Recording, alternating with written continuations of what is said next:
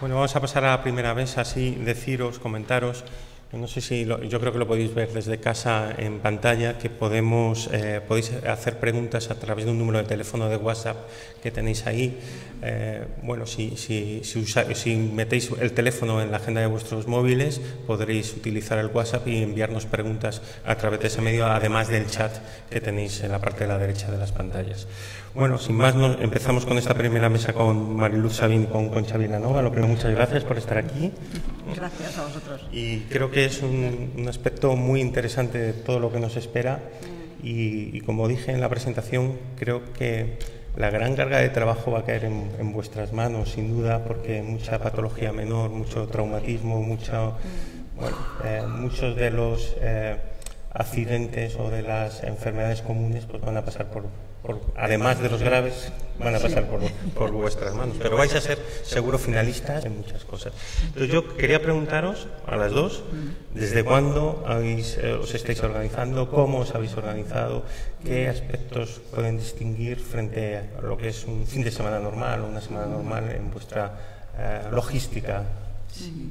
Bueno, en, en SAMUR realmente llevamos organizándonos muchos meses desde eh, ya desde el mes de enero o febrero eh, se nos avisó a todos los trabajadores que se suspendían el día 1 y el día 2 las vacaciones porque ya se preveía que íbamos a tener un trabajo extra. Es decir, que la planificación viene preparándose pues desde hace mucho tiempo. Yo creo que ya hace casi un año, cuando se celebró el, orgullo el año pasado, ya se puso en marcha un, un modelo de atención que de alguna manera esté, como quien dice, de prueba para, para, ver cómo íbamos a funcionar este año. O sea que ya realmente llevamos preparándonos mucho tiempo, mucho tiempo. ¿En qué consiste esa logística que habéis preparado? Pues, en principio... Aparte de dejaros sin vacaciones. Sí, claro, aparte de dejarnos sin vacaciones. Bueno, pues en principio está más o menos organizado, por un lado, eh, lo que nosotros llamamos escenarios, que es donde se prevé que va a haber una gran afluencia de, gente, bien o porque haya conciertos o porque haya algún tipo de acto. Y en ese sentido, pues ahí están... En, en esos escenarios nosotros vamos a poner un puesto sanitario avanzado que puede ser doble o sencillo y son fundamentalmente en la plaza de Pecerolo, en la Plaza del Rey, en la Puerta del Sol, en la Plaza de España y en la Plaza de la Independencia. Y luego un dispositivo mucho menor para dos actos que va a haber uno en el Auditorio Tierno Galván y otro en el Matadero. Eh, por un lado están esos escenarios donde nosotros vamos a tener los puestos sanitarios eh, avanzados, muchos de ellos fijos durante toda la semana o casi toda la semana. Los vamos a empezar a poner en marcha el miércoles el miércoles 28.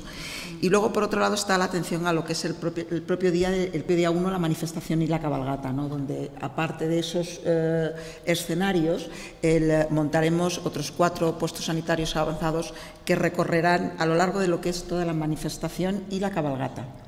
este, este año se ha planteado eh, tanto los, los escenarios como eh, lugares, por decirlo de alguna manera, autónomos, donde va a haber un canal de comunicaciones propio, un responsable de la zona que se tiene que encargar de todo lo que es la logística, de asegurar los eh, aforos que va a haber en las plazas que es algo que nos parece muy importante, porque algunas de ellas son plazas muy pequeñas, como puede ser la Plaza del Rey o la Plaza de Pedro Cerolo. En todas ellas se va a medir el aforo, se van a contar las personas que entran y una vez que se llegue al aforo que cada una de estas plazas tiene, se va a impedir que la, se van a desviar a los, eh, a los viandantes hacia, hacia otra zona. ¿no?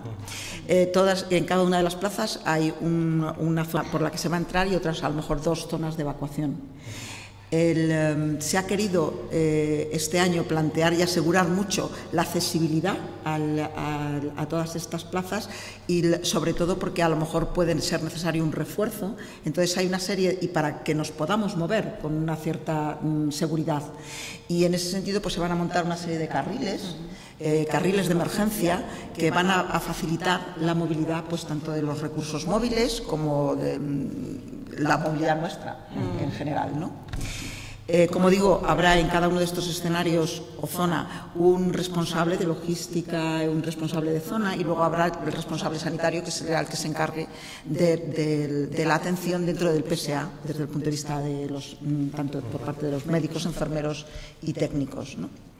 En, la manifestación este año se ha planteado que primero pasará la manifestación. La manifestación, por definición, no puede ir vallada ni acotada, pero una vez que la manifestación termine,